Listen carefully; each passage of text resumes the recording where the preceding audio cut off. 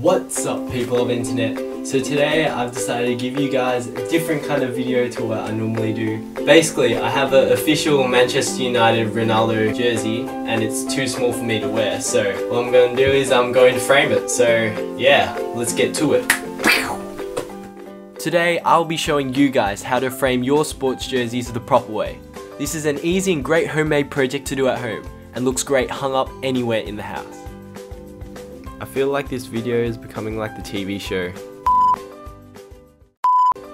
Firstly, you need cardboard, so that you can trace the outline of the sports jersey onto the cardboard. Once that's done, cut the outline out and fit the sports jersey onto the cardboard.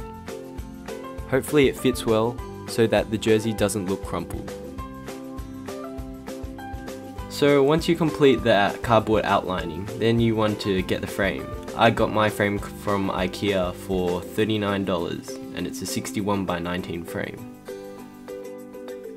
Once you've taken the frame apart and you're happy with the positioning of the jersey, I found some old soccer magazines that have Ronaldo in it. So I cut it out and stuck it onto the frame, just so it doesn't look so plain. I just rhymed like Dr. Seuss. When it comes to actually sticking down the jersey to the frame so it won't move around, what I did was I used Velcro and Blu Tack.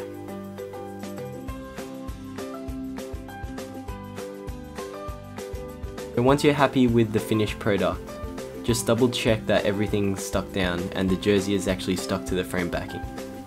And then once you're happy with it, voila, you're done.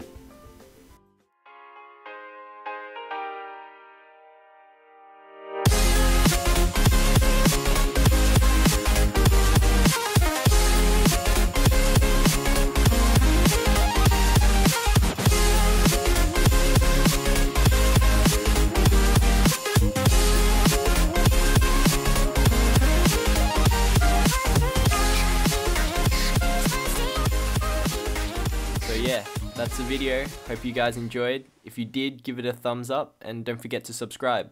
See you next time.